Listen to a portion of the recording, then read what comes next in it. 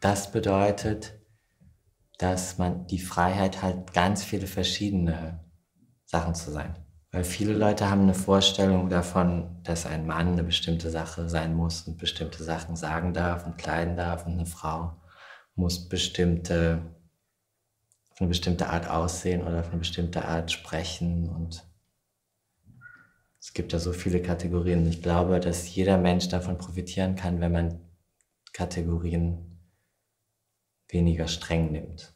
Also das Argument ist ja oft, dass Leute immer denken, dass man den beiden anderen Kategorien was wegnehmen nimmt. Also oft wird gesagt, dass man dann gar, als würde man jemandem das Recht wegnehmen, eine Frau zu sein oder ein Mann. Aber eigentlich glaube ich, dass beide Kategorien davon profitieren, von, dies, von, von einer Gender-Debatte, weil es eigentlich darum geht, die Gleichberechtigung mehr zu stärken und die Kategorien offener zu sehen. Also es geht nicht darum, Kategorien zu verkleinern, sondern zu vergrößern. davon kann eigentlich niemand benachteiligt sein.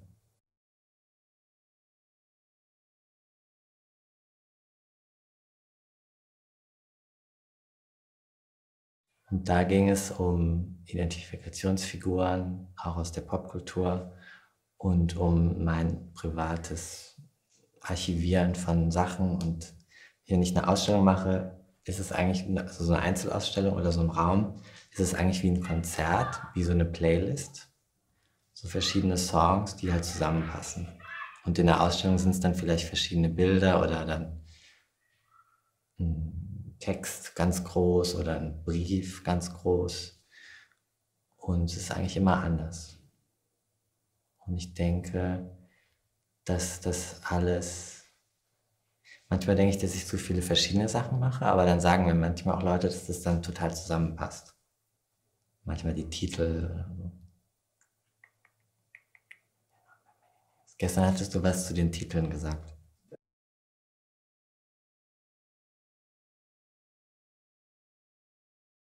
We are known by many names.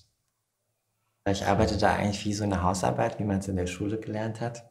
Zuerst die These aufstellen, da müssen alle ihre Argumente vorbringen und dann am Ende gibt es ein Fazit und das Fazit ist die Ausstellung.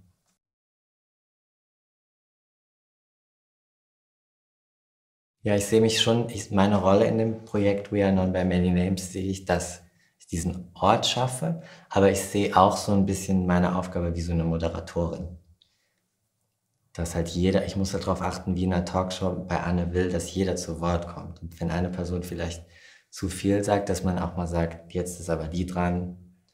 Das ist halt schon eine andere Aufgabe, so ein Gruppenprojekt zu machen. Das ist ja schon so eine Vorbildfunktion ein bisschen, die ich habe, oder wie so ein Lehrer. Lehrer, Kurator, Talkshow-Host, Künstler, Model, alles in einem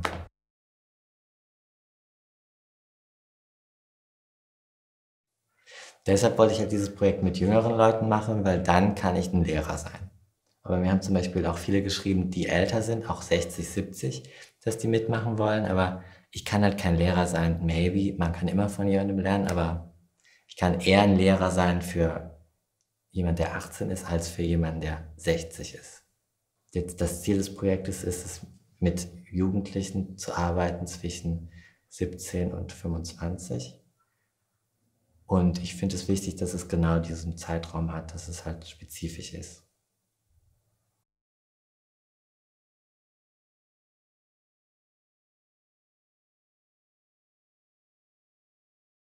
Für mich ist das eher ein Experiment, dieses Projekt, und eine Untersuchung. Und ganz wichtig ist, dass wir, dass sich nicht nur KünstlerInnen, sondern auch Nicht-KünstlerInnen bewerben konnten. Das heißt, man muss eigentlich nicht eine bestimmte Kunst machen. Es haben sich auch Leute beworben, die vogen, die sprayen, die Texte schreiben, die und manche auch machen auch gar nichts Künstlerisches, haben das auch so geschrieben. Und dann kann man auch mitmachen. Also ich finde dadurch, dass es nicht, dass die nicht unbedingt was mit Kunst machen müssen, wird es eigentlich noch echter. Also es geht schon um künstlerisches Arbeiten, aber nicht nur. Es geht auch darum, diesen Ort zu schaffen und einen Austausch zu haben über bestimmte Themen. Und ich finde es total wichtig, dass wenn man jetzt zum Beispiel die Leute, die Kunst machen, mit den Leuten reden, die eigentlich nicht Kunst machen, ist es total interessant, weil das ist ja eigentlich das Audience, was du haben willst. Du willst ja nicht nur, dass Leute von der Kunstakademie dir deine Ausstellung angucken, du willst ja, dass dir auch Leute Feedback geben, die nicht im Kunstkontext arbeiten. Das sind zumindest die Leute, die ich erreichen will, sind alle, nicht nur in der Kunstszene.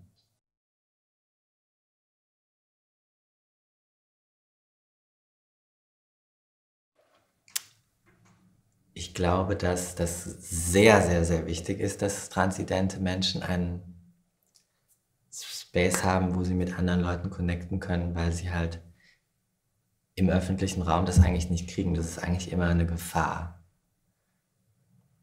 Es gibt Leute, die sind mehr Passing. Das bedeutet, Passing bedeutet, dass man das Geschlecht, was man haben möchte, so auch gelesen wird. Das bedeutet Passing. Und es gibt Leute, die vielleicht noch am Beginn sind oder die auch sich gar nicht auf so Sachen wie Passing ähm, eingehen wollen, sondern es gibt auch Leute, die wollen gar nicht wie eine Frau oder wie ein Mann gelesen werden, sondern wie was anderes. Es ist halt leider so, dass wenn du transident bist oder nicht binär, dann musst du dir halt das wirklich bauen, ein Safe Space. Du kriegst es halt nicht, wenn du die Straße runtergehst. Das ist halt leider kein Safe Space, wenn du eine Transfrau oder ein Transmann bist. Manchmal vielleicht schon, weil du vielleicht so gelesen wirst, wie du das möchtest. Aber das ist ja nicht immer so. Es ist einfach eine Gefahr. Die ganze Zeit. Es ist die ganze Zeit Challenge für viele Leute.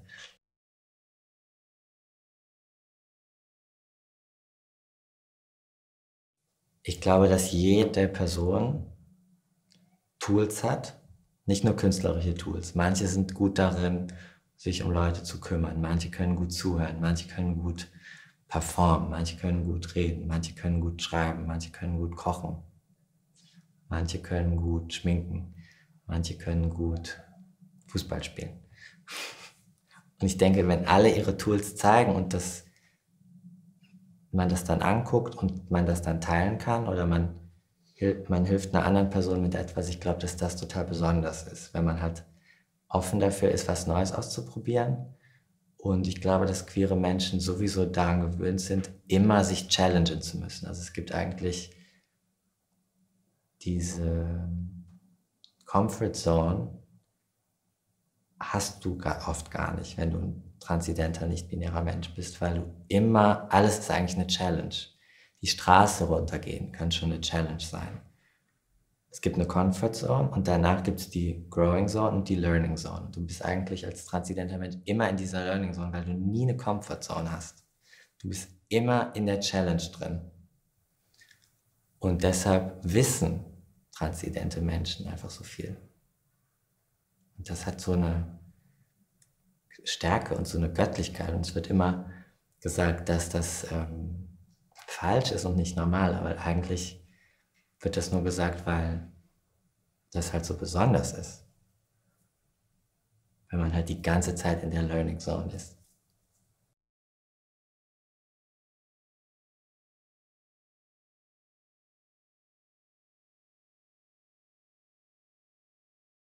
Ich freue mich auch und ich bin nervös.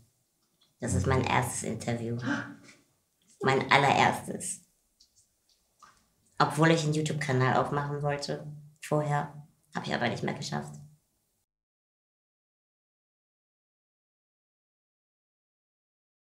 Also ich heiße Celia, Celia Sekin. Ich komme aus Bochum. Ich bin 23 und hab, ähm, im Sommer am 8.7. werde ich 24. Und ja, ich bin Transgender Hello. und lebe als Frau. Seit, ähm, also die erste Wig, die ich bestellt habe, das war erst 2016. Ja, und seit der, seitdem die angekommen ist, habe ich es dann knallhart durchgezogen.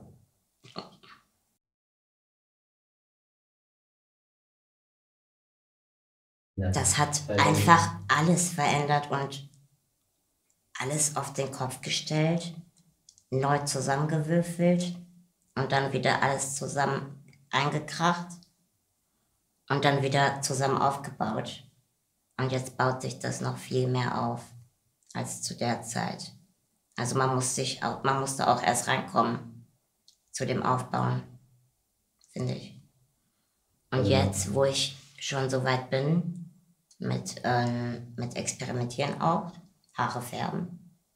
Weil am Anfang waren, waren die ja einheilig, wo die dann so lang waren, von Natur aus, ohne Wig. Ja, und jetzt bin ich schon am Farb färben. Soweit.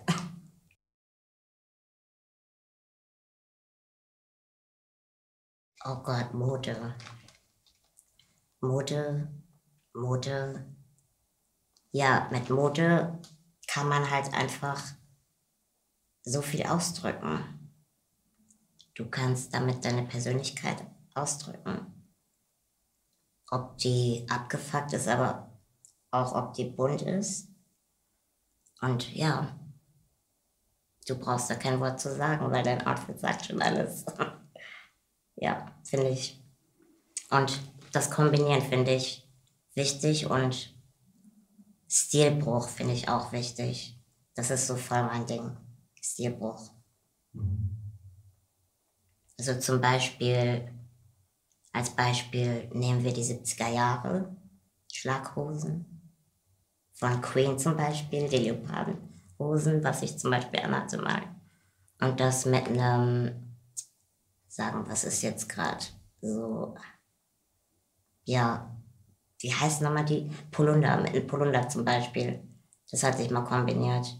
Das sind ja zwei verschiedene Muster. Und die kann man halt dann so brechen, aber in a good way. So, weißt du, wie ich meine?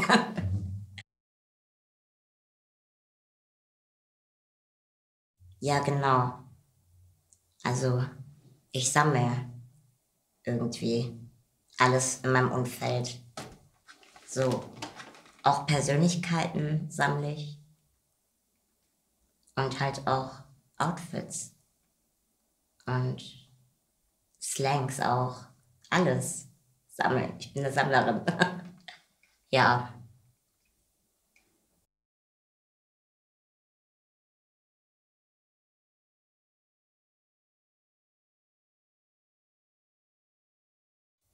Ich nehme die Inspiration zum Schauspielern eher aus Serien und Filmen. Da kann ich am meisten, glaube ich, draus lernen, irgendwie. Und auch, ja, irgendwo Copy und Paste, aber dann Paste mit noch was dazu von sich selbst. Das kann ja auch von allein kommen, aber auch einfach dran durchdenken. Ja. Und die sammle ich zum Beispiel sehr oft in Horrorfilmen auch. Horrorfilme sind mein Ding. Ich mag gute Horrorfilme.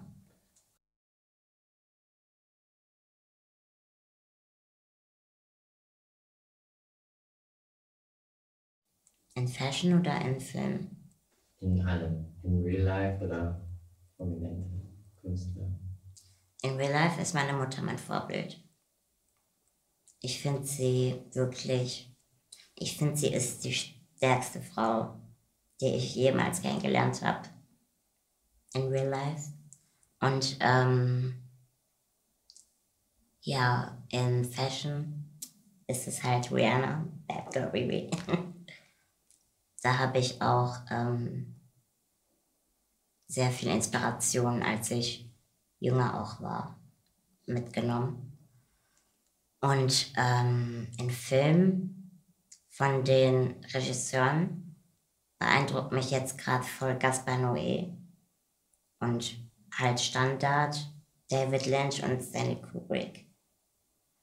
Ja, ich kann mich auch mit, mit einer zum ersten Mal wirklich auch von der Story, von der Story identifizieren bei Euphoria mit Jules. Sie ist ja auch transgender. Aber bei der Geschichte ist auch ihre geliebte Rue die Abhängige gewesen. Und ich hatte auch meine Abhängigkeit von Schmerzmitteln. Und ich hatte wirklich so ein Flashback dadurch auch bekommen. Und ja, mit Jules habe ich auch diese andere Seite gesehen, die, ähm, die halt mein äußeres Umfeld mitgemacht haben, dadurch. Diesen Schmerz irgendwie. ja.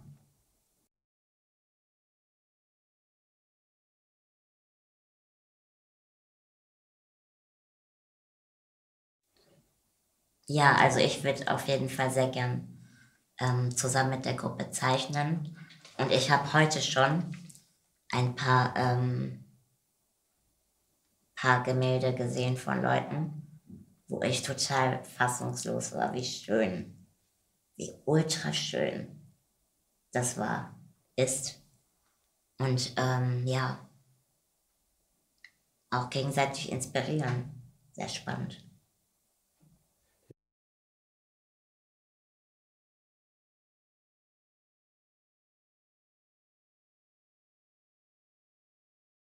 Also ich sage genderqueer dazu. Und das Ding mit Geschlecht ist, dass also schon seit einigen Jahren, dass ich das ganze Prinzip dahinter hinterfragt habe und zu keinem schlüssigen Ergebnis gekommen bin, außer dass es weder weiblich noch männlich getrennt ist. Und äh, meine Pronomen sind auf Deutsch eher sein und auch sie, ihr. Auf Englisch they, them, was ich auf Deutsch sehr vermisse, weil ich das Gefühl habe, es ist viel inklusiver und man fühlt sich viel, also ich fühle mich dadurch eigentlich, eigentlich viel mehr angesprochen. Und ja, Geschlecht ist für mich, ich identifiziere mich durch viel, durch mein Aussehen, meine Haarfarbe, alles Mögliche, aber Geschlecht ist nicht unter den Top Ten.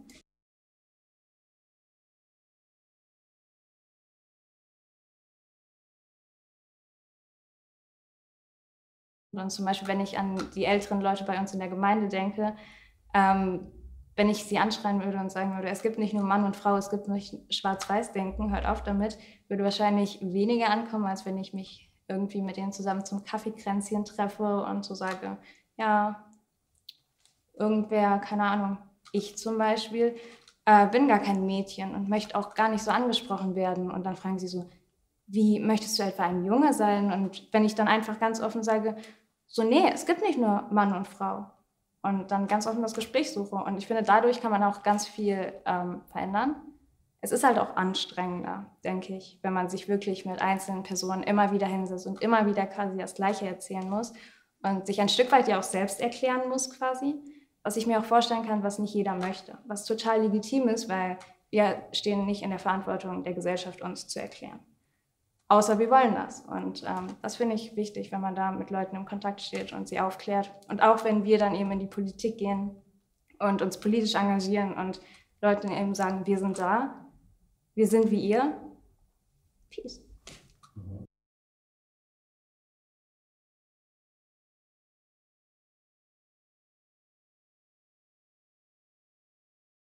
Also meine innere Kraft, also das war ein langer Weg, bis ich dahin gekommen bin, wo ich jetzt überhaupt bin. Und ich habe auch immer noch Tage, an denen geht es mir sehr schlecht und ich finde die Kraft einfach nicht, mich zu erklären oder mit Menschen zu unterhalten. Und ich will einfach nicht.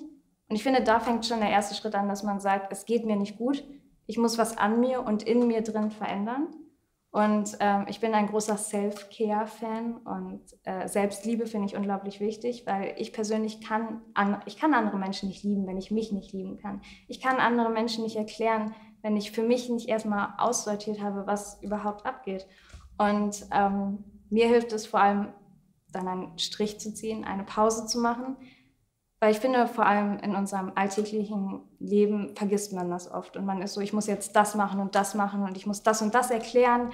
Und man vergisst sich selbst so schnell. Und es fängt schon bei so ganz kleinen Dingen an, wie zum Beispiel, ich habe mich morgen mit XY verabredet, aber ich bin ein bisschen müde und ich habe schon lange nicht mehr richtig gut geschlafen, dass man dann einfach einen Strich zieht und sagt, nein, ich muss mich jetzt erstmal hinlegen, ich brauche ein, ein Nickerchen, Vielleicht kaufe ich mir irgendwelches frisches Gemüse von nebenan, vom Obstladen oder so, mache mir was Schönes zum Abendessen, leg mich dann hin, guck was Schönes, wie auch immer. Ich genieße mich selbst quasi. Also einfach Zeit mit sich selbst verbringen Und das klingt jetzt in dem Fall ganz schön, wenn man sich irgendwie, ich sag mal, gut behandelt und wenn man sich mal was gönnt. Aber das bedeutet eben auch, dass man über sich selbst nachdenken muss und mit sich selbst ins Reine kommen muss quasi. Und ich würde auch nicht behaupten, dass ich das habe. Aber ähm, wie ich früher war und wie ich heute bin, bin ich um einiges glücklicher geworden dadurch, dass ich mich einfach hingesetzt habe und meine Gedanken zum Beispiel aufgeschrieben habe, einfach darüber nachgedacht habe, wer bin ich und wer möchte ich sein und wie kann ich da hinkommen. Und dann legt man sich auch irgendwie einfach mal in eine Badewanne und zündet sich ein paar Kerzen an und genießt es richtig einfach zu sein. Und ich finde es wichtig, dass man es schafft, zu genießen zu sein, bevor man sein Sein mit anderen teilt. Weil wenn man die Kraft nicht hat, aber es trotzdem immer wieder versucht, dann ist es nur eine Frage der Zeit, bis man zusammenbricht. Und das kann es ja nicht sein.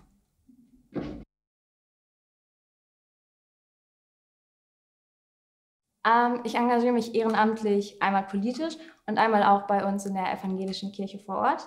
Ähm, da bin ich Teamer, das heißt, ich interagiere mit den äh, zu Konfirmierenden, die halt diesen Unterricht quasi von den Pfarrern normalerweise bekommen. Und ich mache das aus Überzeugung, also ich bin auch gläubiger Christ. Ähm, und ich finde es ganz schrecklich, wenn so 13-, 14-Jährige nur mit alten weißen Männern reden. Das finde ich so einseitig und so schlecht, vor allem wenn man über Glauben, Gott, Jesus und die Bibel redet, weil es ist nicht so, als gäbe es da so einen richtigen Weg. Die Bibel ist ein Buch und Bücher werden von Menschen geschrieben und Menschen irren sich. Das ist das Normalste der Welt. Und ähm, man hat eben nur Sachen, die man von Menschen erzählt bekommt. Und wenn das dann nur ein alter weißer Mann ist, der dir sagt, du kommst in die Hölle, sobald du irgendwas machst, was ein bisschen anders ist, dann finde ich das sehr schade, weil ich Gott und Glauben als etwas unglaublich Großes, Kraftgebendes empfinde. Ähm, vor allem, wenn die Welt mal wieder irgendwie unfair ist und einen schlecht behandelt. Und ähm, das versuche ich den Kindern auch zu vermitteln.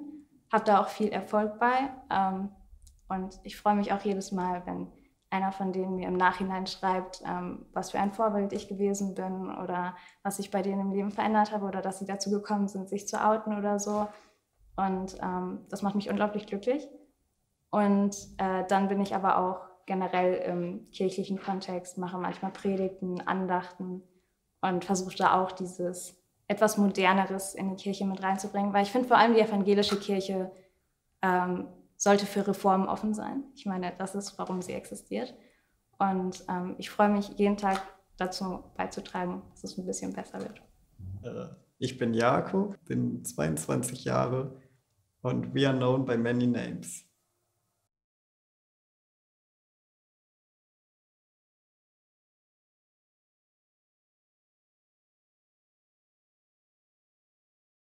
Wenn ich an We Are Known by Many Names denke, dann denke ich an ganz viele Geschichten und an Namen, die uns gegeben werden, aber auch an Namen, die wir uns selber geben.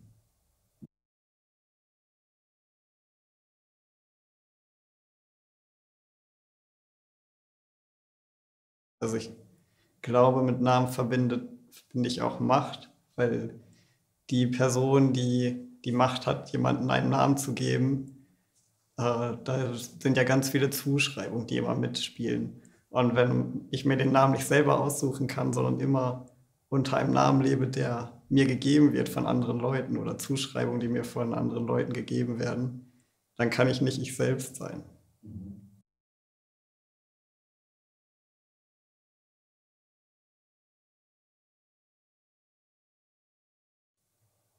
Also ich glaube, um sich selbst zu finden und zu wissen, ob man wirklich ich selber bin, ist es auf jeden Fall wichtig, über diese Sachen nachzudenken. Also was bedeutet das, wenn ich zum Beispiel deutsch bin? Was bedeutet das, dass ich männlich bin oder weiblich?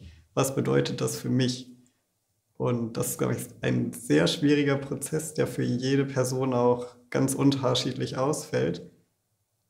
Aber ich glaube, es lohnt sich. Und auch wenn man dann zu dem Entschluss kommt, zu mir passt halt genau das, was mit männlich verbunden wird, dann ist es ja auch okay. Aber für viele passt es dann ja halt doch nicht. Und man denkt so, die, das, was da für mich mitschwingt, wenn ich an dieses Wort denke, das passt gar nicht zu mir. Und dann brauche ich vielleicht ein neues Wort und einen neuen Namen, den ich mir dann geben kann, um damit auch mich zu identifizieren. weil ich merke, viele Dinge passen vielleicht zum Teil, aber dann nicht ganz. Und dann muss man da, glaube ich, so ein bisschen nachdenken und das auch sehr lange dauern. Ich glaube, man wird nie fertig. Man denkt sein ganzes Leben darüber nach, ob das passt. Und ich denke, das Wichtigste ist, dass man sich dabei selber auch akzeptiert und vielleicht auch merkt, es gibt Dinge, die ich gerne sein möchte, die ich aber gar nicht bin. Und dann das Wichtigste vielleicht, dass man sich akzeptiert und zufrieden ist. Und wenn man irgendwie morgens aufsteht, sich freut, dass man einfach da ist.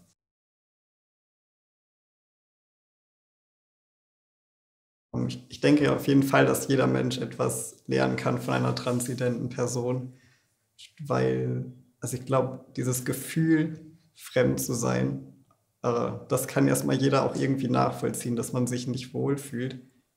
Also das ist ja schon mal so ein Anknüpfungspunkt, wo viele Leute sich, glaube ich, auch mit identifizieren können. Aber dann halt dieses sich selber so dermaßen fremd zu sein, dass man sich selbst so nicht akzeptieren kann oder dass es so, einem so schwer fällt, diese zugeschriebene Rolle zu akzeptieren, die man äh, ja, von der Geburt an aufgedrückt bekommt und da irgendwie auszubrechen. Ich glaube, das ist sehr kraftvoll und erfordert ja auch viel, ja, viel Kraft von der Person und ich denke, da kann sich jeder äh, auch was abgucken, dass man halt irgendwie schafft, so für sich selbst einzustehen, dass man ja der Welt zeigen kann, wer man ist und wie man sich fühlt und dazu steht und auch diese ganzen Hürden dafür in Kauf nimmt.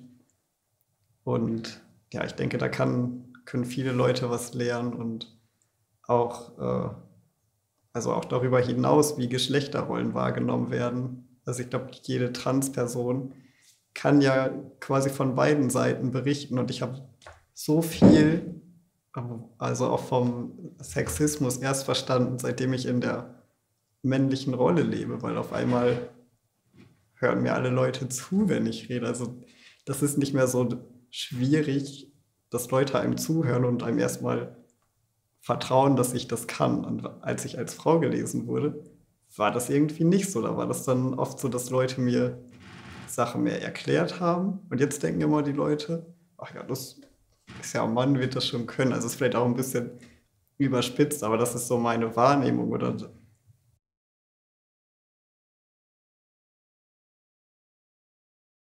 ja, für transidente Menschen gibt es sehr viele Herausforderungen, denke ich.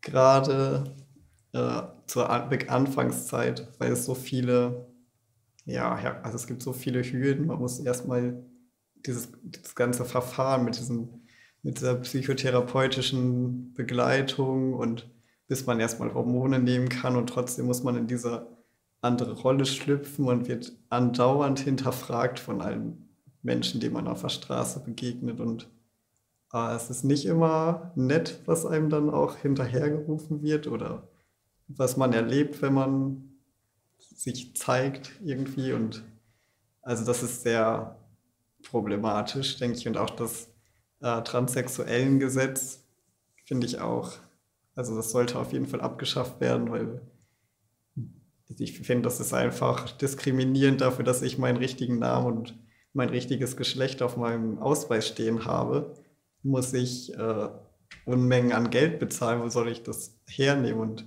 also das war für mich auf jeden Fall schwierig, das irgendwie hinzukriegen. Zum Glück hatte ich da auch Unterstützung. Aber alleine hätte ich das zum Beispiel mir nicht leisten können. Und das finde ich halt, das muss einfach nicht sein.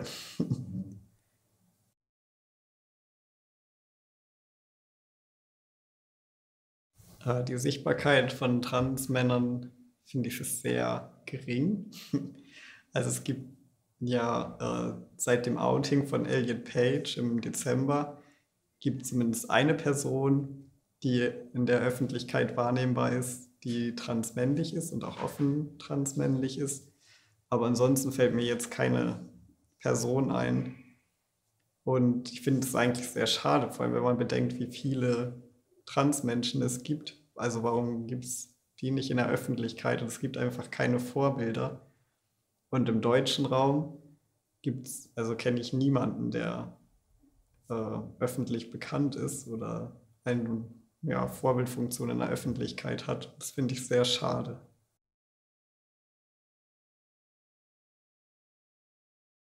Also es wird halt selten über explizit über Transidentität gesprochen, wenn dann im Kontext von sehr merkwürdigen ähm, Dokumentationen, die, ja genau, wo es dann auch oft um einfach nur um Körper geht oder um die Transition. Und ja, das ist dann irgendwie, finde ich, also ein sehr verzerrtes Bild erstmal und dann wird meistens so eine Leidensgeschichte erzählt. Und das ist dann irgendwie so dieses Exotische, was so, glaube ich, interessant ist, aber das ist irgendwie einfach Normales und es so viele Leute gibt, das ja, fehlt auf jeden Fall in der Wahrnehmung. Und wenn über LGBTQI geredet wird, wird meistens nur über LGB geredet und nie über Identität. Und ich finde es auch ein bisschen problematisch manchmal, dass das alles so in einen Topf geworfen wird und auch oft das Wort transsexuell benutzt wird, was ich eigentlich überhaupt nicht mag, weil dann verwechseln Leute das mit Homosexualität und es ist ja auf jeden Fall ein Unterschied, wer ich bin oder in wen ich mich vielleicht verliebe und das wird dann halt auch nicht deutlich und ja, das ist, glaube ich, auch ein Grund dafür, dass es so wenig Repräsentation gibt.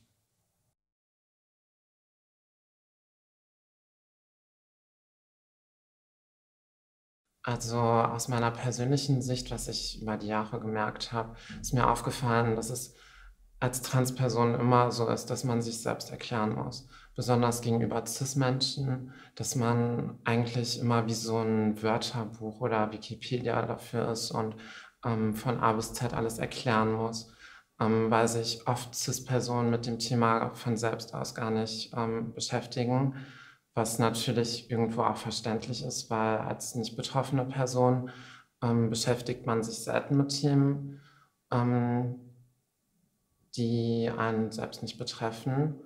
Und ähm, ich merke, dass das ein Punkt ist, aber auch, dass man oft misgendert wird, dass die falschen Pronomen genutzt werden, dass wenn Menschen merken, dass man nicht 100% weiblich ist, dass ähm, man direkt als Mann abgestempelt wird, der sich weiblich kleidet oder sonst was, dass Menschen da doch auch eine Barriere haben, offen zu kommunizieren und vielleicht einfach mal nach den Pronomen fragen, anstatt dann einfach das Falsche zu nutzen.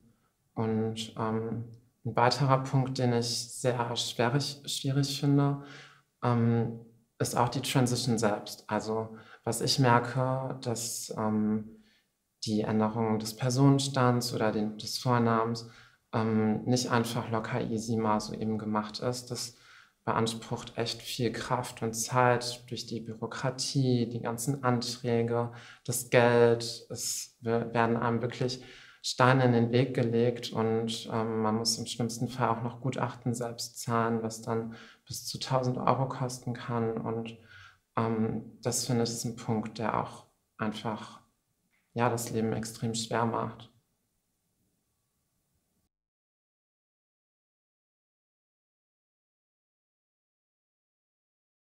Genau. Und das sind dann auch Gründe, warum Leute es nicht schaffen, ihren Vornamen oder Personenstand zu ändern, was bei mir jetzt auch schon ähm, mega lange quasi dauert, weil ich es ähm, mit dem Antrag einfach nicht richtig schaffe und weil ich auch Angst habe, dass ich am Ende 2000 Euro blechen muss, die ich nicht mal eben so auf dem Konto habe für einen anderen Vornamen oder Personenstand, was dann im Endeffekt nur umgedruckt wird.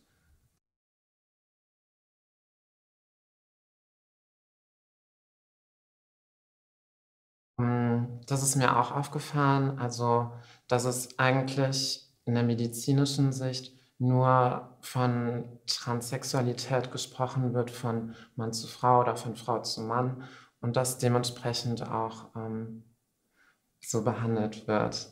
Also dass gar nicht irgendwie dazwischen geschaut wird, ähm, ob es quasi nur männliche Züge sind oder man sich dazwischen fühlt. Ähm, da wird in der medizinischen Sicht schon oft nur auf die komplette Transition eingegangen, habe ich das Gefühl. Auch der Weg zur Operation, dass das eigentlich so vorbereitet wird, dass man im Endeffekt operiert wird, um dann quasi cis-passing zu sein. Ähm, und das finde ich ist auch irgendwo ein Problem, weil ich glaube, dass Transmenschen sich davon auch unter Druck gesetzt fühlen und im schlimmsten Fall Entscheidungen treffen, die nicht richtig sind. Durch den Druck, dass man eine komplette Frau sein soll oder ein kompletter Mann und ähm, sich quasi am, an der CIS-Gesellschaft äh, anpasst.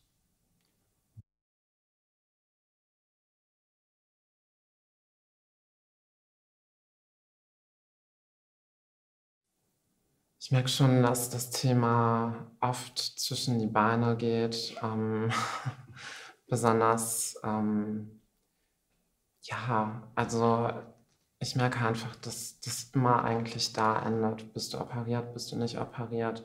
Wie weit bist du mit deiner Transition? Und ähm, viele Menschen merken gar nicht, wie intim dieses Thema in Wirklichkeit ist für jede betroffene Person und dass ähm, dass das für manche auch gar nicht erstrebenswert ist, eine Operation zu haben. Ähm, und ja, ich denke schon, dass gesellschaftlich ein gewisser Druck auf Menschen ist, sich operieren zu lassen, weil es dann halt auch Begriffe gibt, ähm, mit denen man Menschen bezeichnet, die nicht operiert sind, die sehr abwertend sind und hauptsächlich in Porno-Kategorien ähm, genutzt werden und es dann auch eher in eine fetischisierende Richtung geht, was ich auch mh, hm, schwierig finde.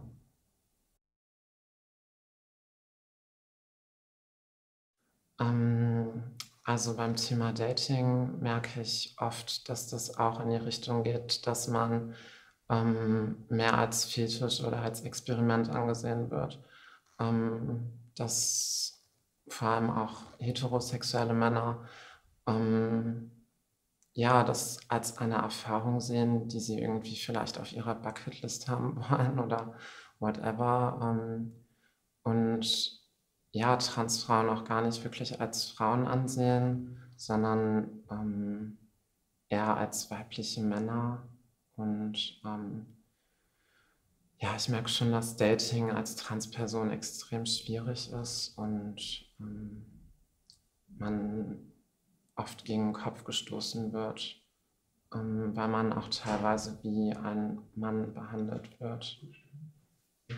Beim Thema Dating, was mir auch auffällt, dass ähm, wenn man dann sich tatsächlich irgendwann mal zum Date trifft, dass das dann auch meistens so eine Art Versteckspiel ist, dass man irgendwie dass die Leute sich mit einem nur im Dunkeln treffen wollen oder zu einem nach Hause kommen wollen. Und ähm, das finde ich ist auch einfach schwierig, weil ähm, gerade als Transperson möchte man kein Geheimnis sein von irgendwem und nicht im Hinterkämmerchen quasi versteckt werden. Ähm, ja, ich glaube auch, dass, dass viele dann das Gefühl haben, wenn sie eine Transfrau vielleicht daten, dass sie sich dann denken, ob sie schwul sind oder ihre Sexualität direkt hinterfragen, was ich auch ähm, ja, unnötig finde, weil Transfrauen sind genauso Frauen wie Cis-Frauen und ähm, das sollten sich viele mal hinters Ohr schreiben.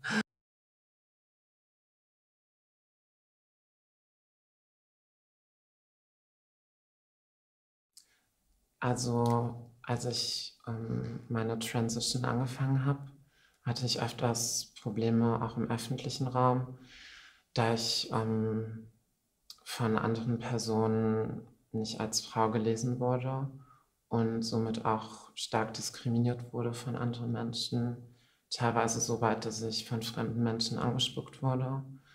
Ähm, und mit der Zeit und äh, den Jahren hat sich das immer mehr gebessert. Also ich glaube, da spielt dann auch das Passing wieder eine gewisse Rolle, dass ähm, mich Menschen auf den ersten Blick nicht direkt als trans lesen vielleicht. Ähm, aber ich merke auch wiederum, dass wenn ich dann mit Menschen spreche und ähm, mein Gegenüber vielleicht mitbekommt, dass meine Stimme außergewöhnlich für eine Frau ist, etwas tiefer oder wie auch immer, dass das dann doch schnell auch wieder ähm, zum Thema bist du eigentlich trans läuft. Und ähm, ich fühle mich inzwischen auf jeden Fall sicherer in der Öffentlichkeit, aber trotzdem ähm, fühle ich mich auch nicht zu 100% sicher. Ich habe immer irgendwie Angst, dass ähm, jemand es merken könnte und nicht gut darauf reagiert und ja, mir dann vielleicht wieder diskriminierende Dinge passieren könnten.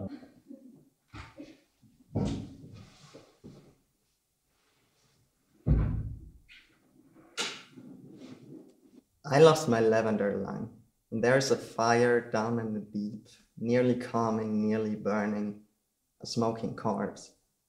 The autopsy of James Doe, leaving you behind with a longing thrive. While I recover from the coldest winter of mental usage abuse. I found my lavender lung, rotten, almost black, easy to throw away. Trash like I carried them to the flower bed, to the grave that was promised since the day any being was born.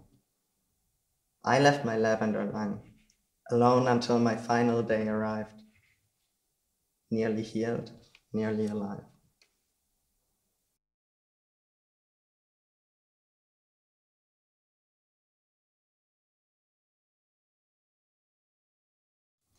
Ja, ich mache Publikationen mit Gedichten begleitet von Malereien oder Fotografien. Ja.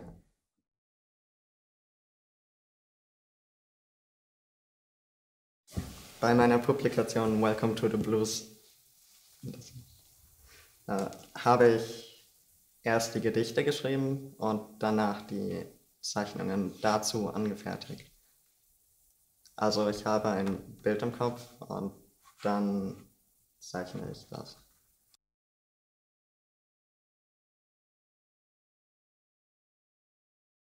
Menschen. Ich nehme Menschen als Subjekt äh, und zwar in auch emotionalen Situationen. Ähm, ich finde einfach, dass ja, ich kann einfach mal ein paar Bilder zeigen. Ja. Das. Die beiden einmal. Macht auch Sinn. Ich habe diese drei gemalt kurz vor der Mappenabgabe und ich war ziemlich gestresst. Also dachte ich mir, warum arbeite ich nicht mit dem Thema Stress? und setze mich damit auseinander oder beobachte mich selbst, wie ich in Stresssituationen reagiere. Und dann kamen die halt raus.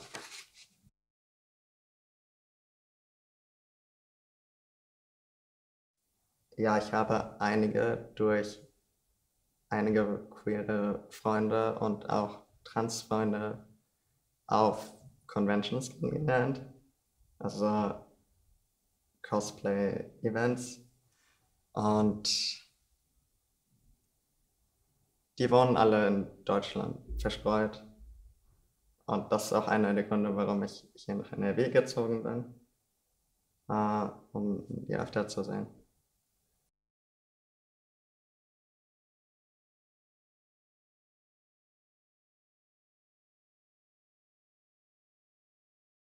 Kleidung ist für mich wichtig, weil ich mich wohlfühlen soll in meinem Körper und das auch gerne zeigen möchte.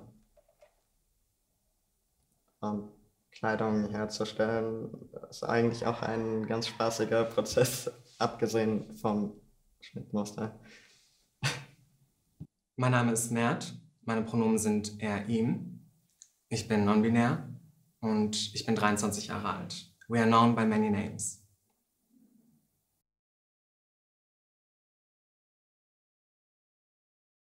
verschiedene Individuen, Repräsentationsfragen, Ähm, und auch, dass man da eine gewisse Vielfalt sieht, ne? dass ein Querschnitt hat äh, von Individuen, die für die Gruppe stehen.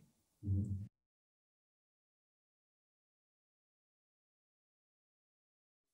Meine künstlerischen Interessen liegen hauptsächlich in der Fotografie. Darin dann hauptsächlich Porträtfotografie. Mich interessiert das Individuum an sich. Das alles, was in einem Gesicht steckt oder stecken könnte und was wir darin sehen und auch sehen könnten.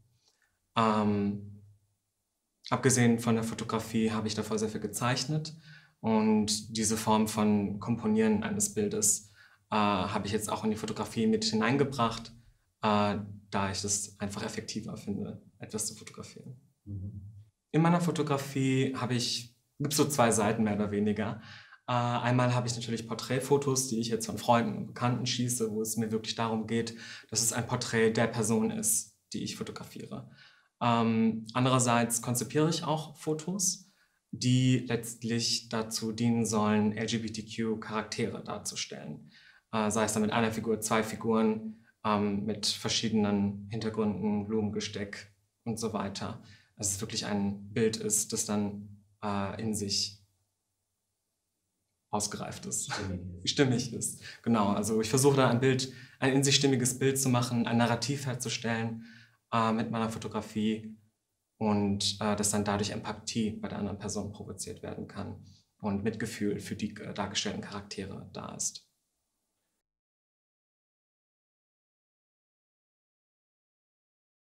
Meine Geschlechtsidentität ist zurzeit in der Schwebe zu non-binär. Ähm, ich bin als Mann geboren ähm, und merke immer mehr, dass ich nicht wirklich sagen kann, dass ich ein Mann bin. Ähm, durch Ohrringe, das war das Erste, was ich für mich so entdeckt habe, äh, Make-up, was ja etwas ist, das das ganze Gesicht transformiert und man damit die Person, seine eigene Person sehr stark ändern kann, wenn man das möchte habe ich gemerkt, dass ich nicht mehr in dieses binäre, dichotome System von Mann und Frau wirklich ganz hineinpasse und mich irgendwo dazwischen bewege. Äh, inwieweit ich jetzt zu was tendiere, dessen bin ich mir tatsächlich noch nicht sicher. Das ist noch ein Prozess.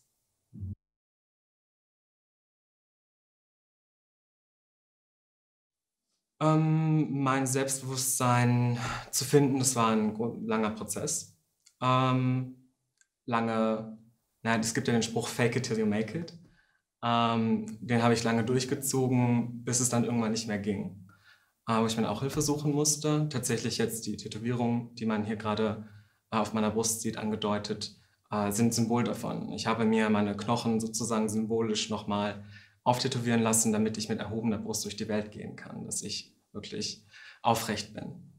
Ähm, aber mein Selbstbewusstsein ähm, erarbeite ich mir dass ich sage, dass ich mir ständig wieder vorhalten muss, dass ich mir selbst natürlich wert bin. Das ist ein großer Teil davon. Und äh, dass das, was ich mache und wer ich bin, natürlich auch wichtig ist.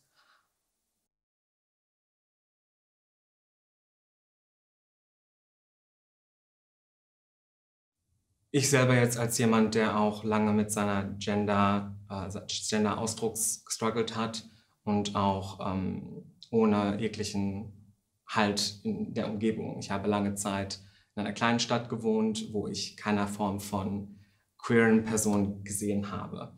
Also da war ich selber die komische Person äh, in der Klasse, in der Schule, in der Stadt gefühlt, ähm, die, nicht non die nicht konform war.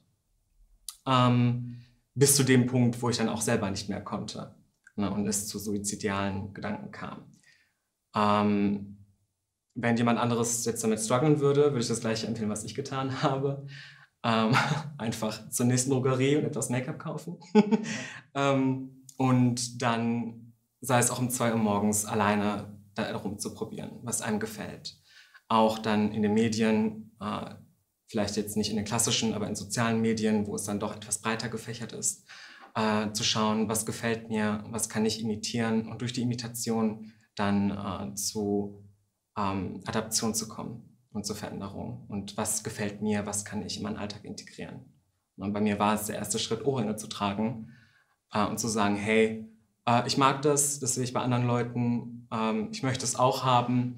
Und der Moment, wo ich dann das erste Mal richtig Ohrringe getragen habe, war dann eine kleine Euphorie, Moment, Glücksmoment, wo ich gemerkt habe, okay, das, das bin ich, dahin komme ich. Äh, man muss da kleine Schritte machen, äh, sei es erstmal Nagellack, wirklich, den ich ja jetzt auch gerade trage. ähm, oder wie gesagt, sei es nur ein Eyeliner oder zu sagen, ich trage meine Haare anders oder ich lasse sie lang wachsen, ich schneide sie ganz kurz. Ähm, einfach experimentierfreudig zu sein. Ne? Ähm, man muss da ja nicht sofort etwas ganz anderes projizieren, als man gerade ist. Ne? Ähm, wenn ich mir jetzt auch meinen Verlauf anschaue, ne? es kommt von Ohrring zu Make-up und dann später jetzt immer mehr zu High-Waisted Pants, dass ich sage, hey, ähm, ich möchte jetzt Hosen tragen, die jetzt nicht vielleicht jeder Mann trägt, ähm, hinzu, dass ich jetzt sage, hey, ich probiere mal einen Rock aus. Das muss man auch nicht jeden Tag tragen, aber dann zu Hause zu probieren, mal was einem überhaupt gefällt. Hallo, ich bin Darch, ich bin 20 Jahre alt.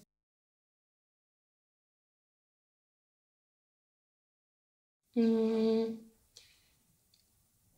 als ich We Are Known by Many Names gelesen habe, dachte ich mir erstmal, dass es eine gute Inspiration für ein Bild ist, weil ich meine Bilder normalerweise oft von, von irgendwelchen Gedichten oder Songlyrics inspirieren lasse. Und ähm, ich, ich fand den Satz interessant und dachte, dass ich da bestimmt ein cooles Bild rauskriege.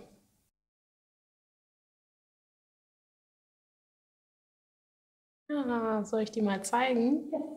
Okay. Das ist jetzt die erste Zeichnung. Ähm, die habe ich mit Wasserfarbe gemalt und ähm, einem Feinliner. Eine meiner Lieblingszeichnungen, die ich gemacht habe, ist die hier. Ich finde die Größe gut.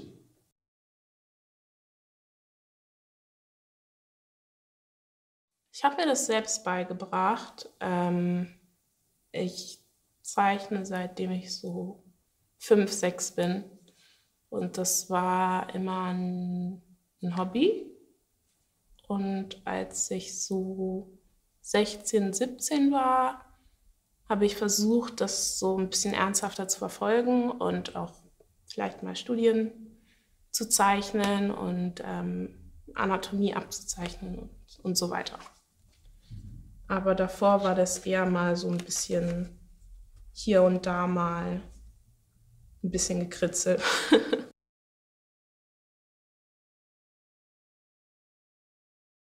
ich würde sehr gerne Aktzeichenkurse machen. Ähm, ich studiere äh, Grafikdesign an der FH Aachen. Und da werden welche angeboten, aber wegen Corona sind die momentan nicht aktiv. Und ähm, davor habe ich in Indonesien gelebt und Aktzeichenkurse gibt es da leider nicht. Drum hatte ich noch nie so richtig die Chance dafür, das mal auszuprobieren, aber ich würde es sehr gerne mal machen.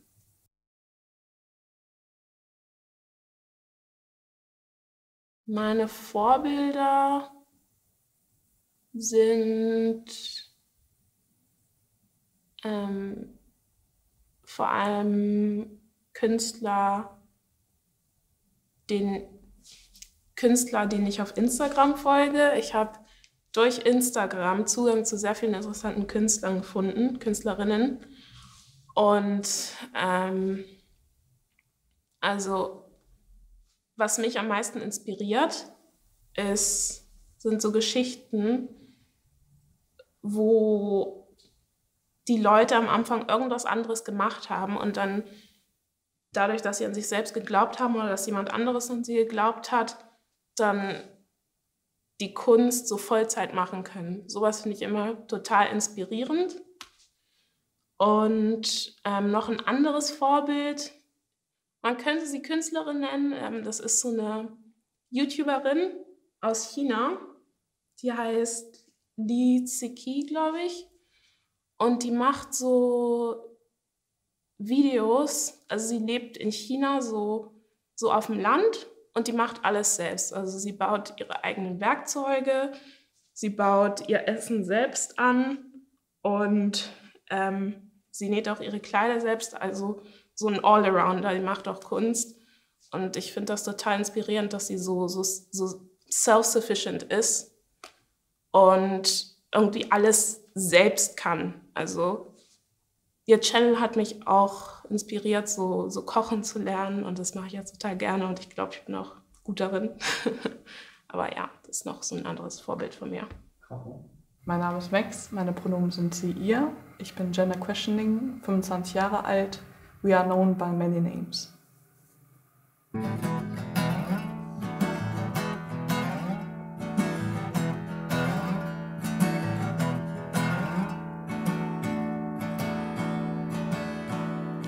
See me once and judge me twice. The first time before and the second time after I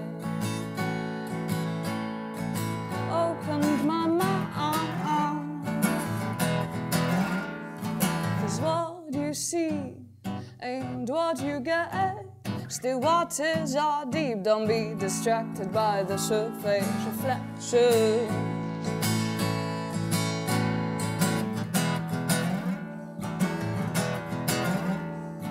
And don't be fooled by my innocent smile.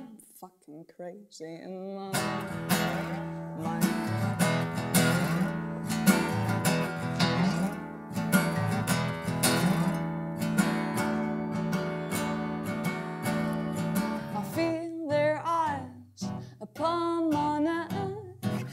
Critical smiles and the thoughts in their heads. What is this shy little girl doing on stage? She doesn't look like, she doesn't act like, she doesn't seem like what? What should I look like? What should I act like? What should I, should I, or shouldn't I care? Yeah, yeah, yeah. And don't be fooled I'm fucking crazy in my.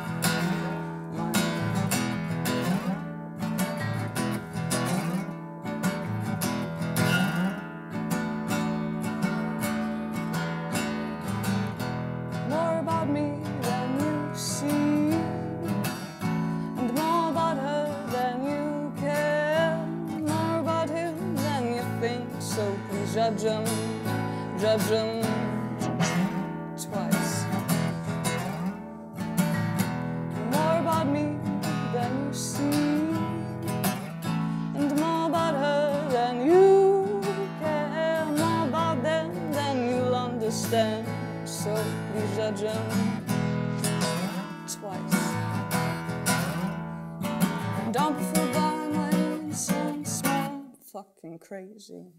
Don't fooled by my innocent smile, fucking crazy. Don't be by my innocent smile. I'm fucking crazy in my mind.